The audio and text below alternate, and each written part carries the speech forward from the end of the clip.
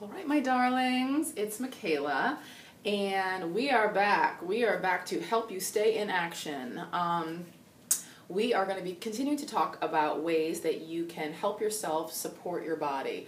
Last week we talked about packing your shoulders and why that was an amazing thing to do in an everyday kind of way, um, a way to provide support and create a bigger base to create a base to pull more strength from and a way to uh, take pressure off the front of your joints.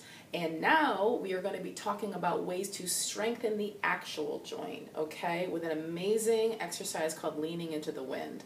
So, leaning into the wind is magnificent because it is fast and it provides true strength for these little guys that are predominantly in the front. Um, how I know about this exercise is because I too have issues with my rotator cuff. I partially separated my shoulder when I was in high school doing track, and then I continued to aggravate it um, by doing swim for the remainder of my time there. So, I came across this exercise a couple years ago um, from a kettlebell guru of mine, and what I found leaning into the wind um, to be was a major relief creator. Um, it is quick, it is so efficient, and um, it is it is something that lasts for time, which is wonderful. Um, I have done the rotator cuff exercises with bands tied around doorknobs and shoved in doorknobs, and it is it is mind numbing. Um, it is tedious. It is time consuming. And personally, it did not provide me with a ton of relief. Helped me at the time, years and years and years ago, but this thing is the way to go as far as I'm concerned. So, I want to show you what that looks like. Um, so basically, you can do this with um, either a dumbbell, uh, which most people have more access to, most people are more familiar with, or you can use a kettlebell if you love them as I do and have them near you. So um, either way, either way, we have options. So I want to show you what this looks like. Um, so basically, when you when you approach the weight, um, you want to make sure that you are picking it up with your palm up. So basically, like you're serving a tray. You're serving, you're offering something to someone on a tray. Um, you're going to place the weight in between the webbing of your thumb and your index finger, so it kind of creates this this shelf for it to be in. All right. So what you're going to do is you're going to think about packing your shoulder, and then you're going to think about pushing up from here, not here. Do this whenever you want to lift anything over your head, lift anything up. Think about pushing from here, not from your shoulder. Um, and additionally, this is kind of a nice visual to see where the, late, the weight lies and what happens with the arm when your shoulder is packed. When it's not packed, it's kind of straight up and down, a little less stable. Packed, this guy is over my joint, which is where it's going to be most stable. Okay, so here we go. So I'm thinking about packing my shoulder, having the weight over my shoulder, and then I'm thinking about letting that weight drift behind me. I'm coming forward. I feel a little stress in the front of my joint. I hang out there for a teeny bit, and then I back off. I come back to this center position over the joint. Then I do it again. So I think about uh, the weight going behind me, my body coming forward. I stress the joint a little bit. I'm not hurting the joint. I feel a little sensation, and I back off. And so maybe you want to do five of these or so. Um, I wouldn't necessarily do more than five.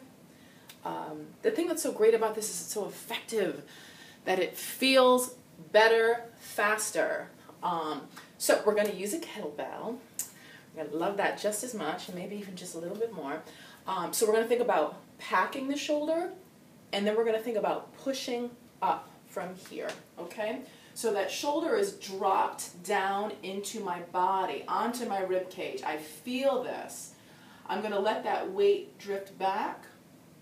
my body comes forward. I have to work a little bit, and then I back off. It's back over my skeleton with gravity supporting me versus my musculature. So that arm, that shoulder sinks into my rib cage, onto my torso. I think about the weight going back, my body coming forward, a little pull in the front of my shoulder, and then I back off. Raw. Okie doke. Relief. It feels lighter. It feels lighter. It's amazing. It has, it creates support. The thing that is wonderful about strength training is that it provides support for the body and that provides comfort for the body. Pain shows up where there's weakness. I talk about this ad nauseum with people that make their way into this studio that the best thing they can do to prevent the problem in the first place, the pain in the first place, is to strengthen their body, is to do that on an ongoing basis. Hopefully, two times a week, maybe three. That's amazing. Um, full foam rolling afterwards, but um, getting massage to help unwind the tension that gets created from life, from using your body. This is natural. Your muscles, the only thing your muscles can do, the two roles, is they contract and they relax. Often when we contract all the time, whether it's deliberately with weight training, say, um, or inadvertently when we're really stressed a lot of the time, uh, our muscles stay in this contracted state. And so massage is something that helps loosen them up, free them up. Wonderful, provides tons of relief. But massage does not support your body and create stability in your body like strength training does. And that is what you ultimately need to have a body that feels amazing. Okay? So check it out, try it out, all right? Um, dabble, dabble, fiddle and faddle, all right? Check it out maybe with something light to begin with, see what your perfect weight is, and um, do it a few times. You know, hang out there, back off, and, uh, and see what you think.